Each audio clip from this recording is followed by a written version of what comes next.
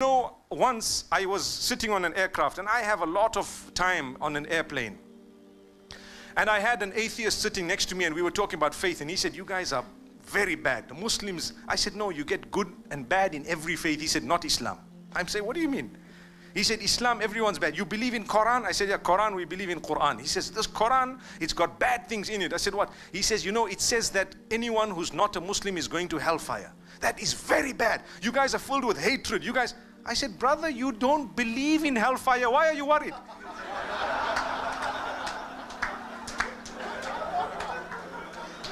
That's the irony. Atheist, he doesn't believe in the hereafter. And he's telling me we are bad because we believe everyone's going to hell. I said, by the way, the Christians believe the same, the Jews believe the same, the Hindus believe the same, and most other faiths believe the same. What about them? He said, No, but they don't have a Quran. I said, Okay, this is a bigot. This is a person who really doesn't know. He is so uneducated, he hasn't mixed. I learned more about other faiths and inclinations and different types of people when I traveled the world. Subhanallah. For some reason, there is dead silence here. Allahu Akbar. Let's hope that's not happening to us. The biggest deviation. Those innocent people are being accused by someone who claims to know the unseen. Do you know how they operate? I will tell you this evening in order to equip you with that knowledge. They have a link with the jinn sometimes. That too is prohibited. Allah says in the Quran, وأنه كان رجال من الإنس يعوذون برجال من الجن فزادوهم رهقا In Surah Al-Jinn, Allah speaks about it. Allah says, part of the things that are mentioned, He says, and from amongst the issues that are taking place, there are people from mankind who are seeking assistance from those of jinn kind and those of jinn kind are leading them further astray. That's a Quranic verse. Open Surah Al-Jinn and read it. يا معشر الجن قد استكثرتم من الإنس I love that verse because it wakes us up. O jinn kind, you have made enough fools out of mankind. Allahu Akbar. One of the translations of that verse. O jinn kind, it's enough what you've done. You've already taken a lot of these people and hoodwinked them. So they would seek the assistance of a jinn who will immediately communicate with the qareen that is with you. Qareen that is with you means when Allah created you, He created your soul and put it into a uniform known as your body. This uniform, you're going to take it out when you die and your, your soul will continue. I hope you understand the way I've worded it. Yours is the soul. Allah has created it. He put it into this uniform known as a body. When you die, you remove your uniform and the soul is gone. With that uniform, two other elements. There is an angelic angel, an angelic force, and there is a devil. That qareen from the jinn kind, he communicates immediately with that jinn of the man whom you went to go and see. And you know what? He says, this sister has a pinched nerve at the fourth uh, uh, you know, vertebra at the bottom of her back and it's in the left corner.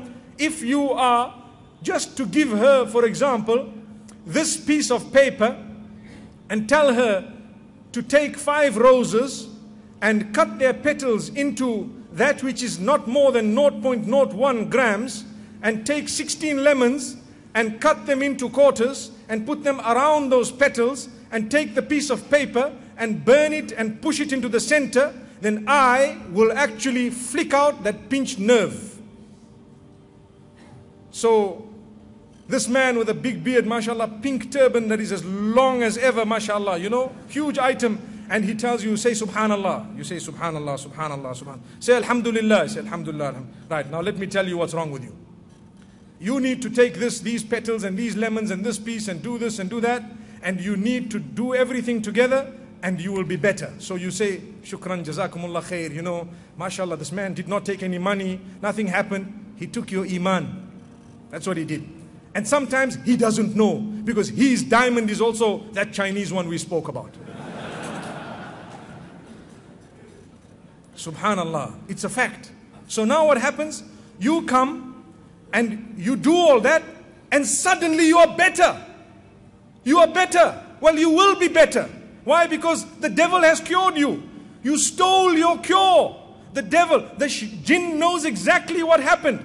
And the jinn knows exactly where you are standing. Subhanallah. So you were cured. Your back is cured. MashaAllah. Now that man is a saint. Do you know that? And you send so many people to him. But Allah says, hang on, do you know you can even earn money through stealing? Do you know that? You become an instant millionaire through robbery. But that does not make you a person who did something right. No. You will say, wow, I got the money. But it does not make you right. So you're saying, wow, I'm cured. But it does not make it right. You will be cured. But you suffer the consequence of it. What is the consequence? They will put a tag. They dangle something. The first thing they did, they will laugh at Allah and have insulted the messenger to say, ha ha ha ha ha. You told them to put their head, your, their head on the ground. We promised you we will deviate them. Here they are. They're ready to cut lemons and they're ready to put roses and they're ready to do things that made no sense for us, not for you. Do you know? They just took away your iman. They made you worship the devil and you don't even know. And you're happy. You're still saying, Allahu Akbar. Allahu Akbar. May Allah grant us understanding. So now, they will tell you, do you know who did it? A member of your family did it. Why do they say that? Every time by default, that is the answer. Sometimes they will pinpoint a person's name. They will show you, look up into the wall. When you look up, you see a face. Wow. No, I'm not joking. I'm honest with you. You'll see a face. The face, hey, that's my sister-in-law. Okay, right, I know. I know what happened. Wallahi, that was the jinn. That's all. What is the job of the jinn? To break your family ties. That's point number one. Go and read the hadith. Allah explains it through the blessed lips of that messenger whose mission was to show you how Allah wants to be worshipped. And here we are thinking, wow, you know what, this is true. I've seen it with my eyes.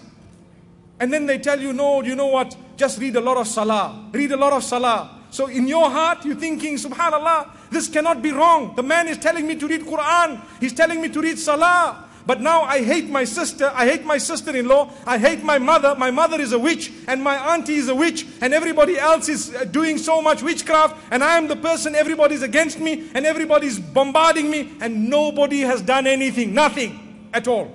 There are innocent people whom you are accusing because you have worshipped the devil.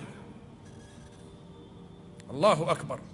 And we become so deep in it that we cannot do without it, my brothers and sisters. That's not how a Muslim should operate.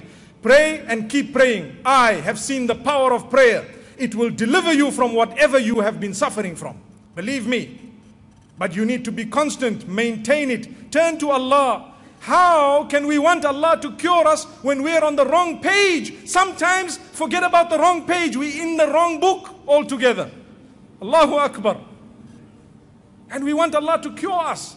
What type of deviation is this? Wallahi, we should understand. If someone claims that X and Y did it, let me tell you. And I'm telling you because I know what I'm talking about. If that jinn was told you are lying, the jinn will change the name.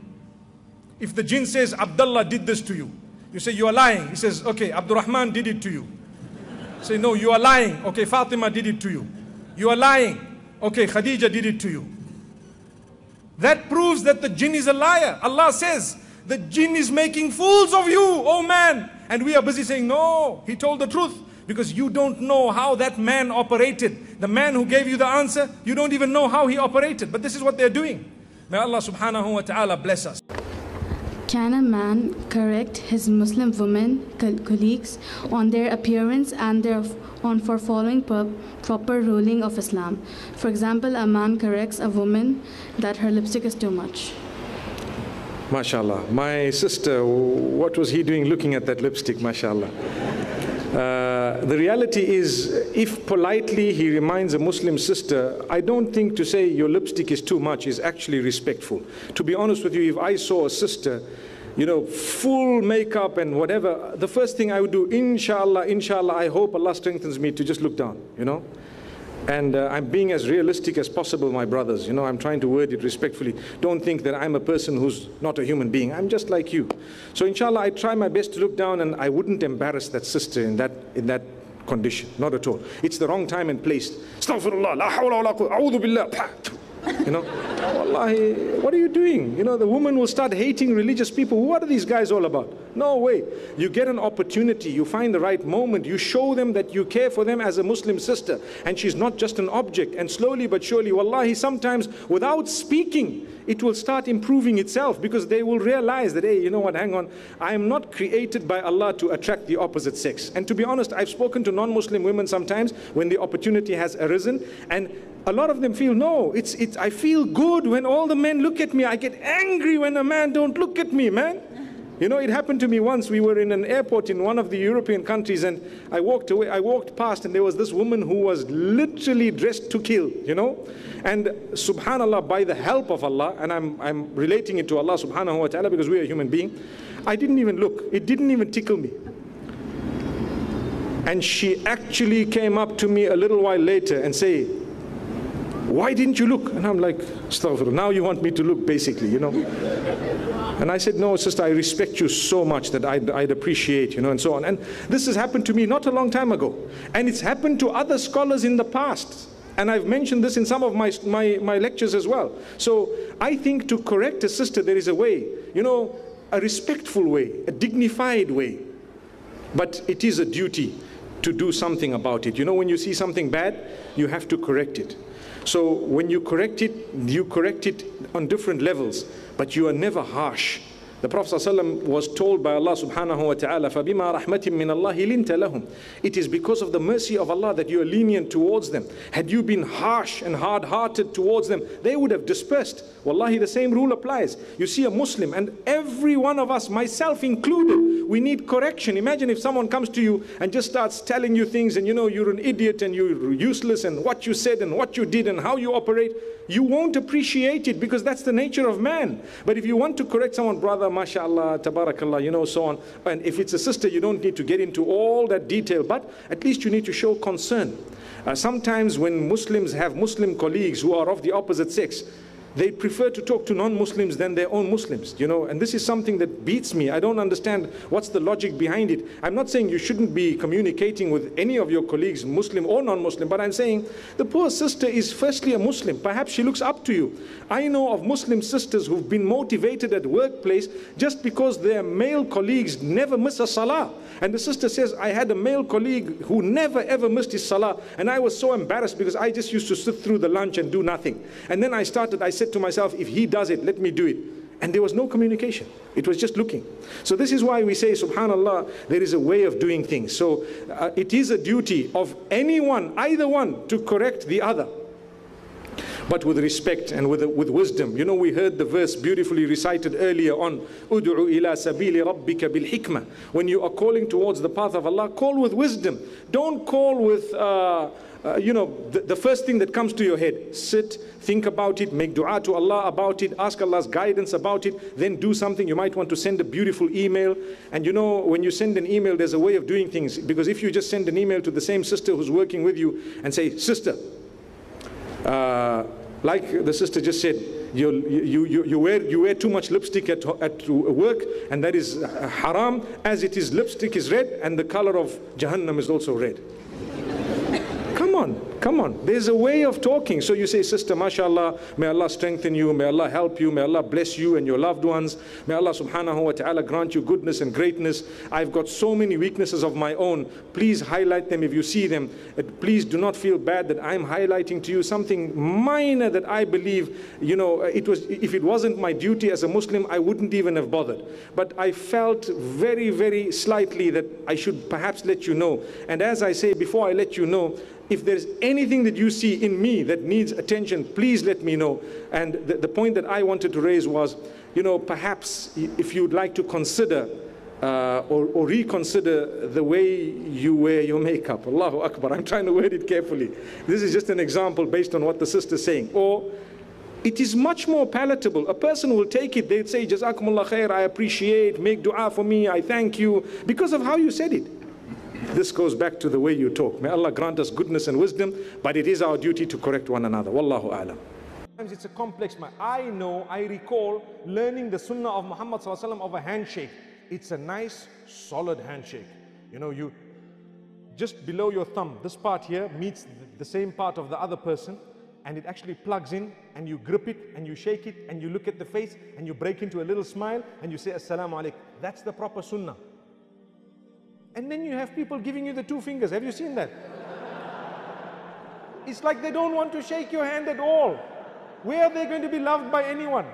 You know, they just do this and next thing it's out. Shake it. Shake it properly. Don't worry. The fungus on their hands is not going to come to you. It's a fact. This is something he says, greet the people. That's what he said. He greeted with a smile. He, he was a person who used to smile often at the people, such, and it is reported that he was absolutely free from hypocrisy, so much so that when he was sad, you could see it in his face. It wasn't hidden. He was sad. You could see I've just upset him because it was on his face. With us, we so hurt him. Yeah, alaikum. And you know, you're there and you want to bash the person, but you haven't managed to say anything. Let them know, you know, sister, I'm hurt. What you said, what you did is bad. I'd rather sort out the mess than to let it grow as a hypocrite. Wallahi. We let the things grow like hypocrites. And the women are not the only ones. It's seeped into the men, honestly. We smile at each other and we hug each other and there's a dagger. You know, we're gone. I can imagine it. It happens. And these are plastic smiles that cause hatred in the ummah. Don't let it be. I'd rather confront a person who's a brother of mine. Brother, I love you. I care for you. You are a human being. You're a Muslim. You are my brother in faith. I really have a lot of respect for you. But I would just like to clarify this one point. It's a point that hurt me. Perhaps you have a clarification. They may not like it, but they will appreciate it long term. That was the messenger. Remember, the Prophet ﷺ joked even with his family members. How many of us, especially the older people, sit with our family members and tell them decent jokes? In Islam, when we say decent, it must not be X-rated, number one. It must never be about another race or color. Never. Haram. Totally prohibited. It must never ever be about another religion. Totally prohibited. The Quran prohibits you to joke about other religions. ولا تسبوا الذين يدعون من دون الله فيسبوا الله عدوا بغير علم don't ever mock and jeer and joke about others who are calling besides Allah, the gods besides Allah. Because in return, they might start joking about Allah and you were the cause of it. May Allah protect us all. So it is prohibited. Look at how beautiful these teachings of social conduct are. They make cartoons, we will never make cartoons. Never. Not even about their gods. You cannot attack fire with fire. And here in Islam, we are being taught that even the Prophet ﷺ shared lighter moments with his companions. So many times we have narrations where they say the Prophet ﷺ laughed until his back teeth, the molars were showing. Subhanallah. I want, that is a broad smile, very broad smile. Some narrations say the canines were showing. That's also a very broad smile.